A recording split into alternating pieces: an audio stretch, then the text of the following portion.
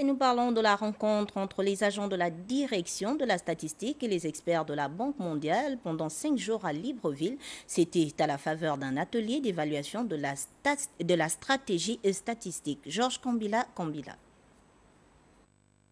Faire le point de la première stratégie nationale pour le développement de la statistique, exercice 2011-2015, c'est l'objet de cet atelier organisé par les agents de la Direction générale de la statistique L'urgence euh, sera de mettre en place les organes de coordination euh, de la statistique, c'est-à-dire euh, l'Institut national de la statistique, également le Comité national d'information statistique, qui soient synchronisés et répondent aux besoins de la prochaine phase du plan national de développement du pays.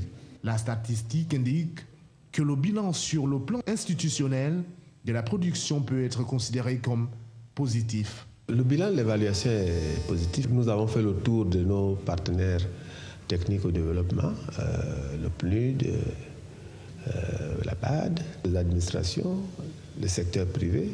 Chacun a pu donner son point de vue.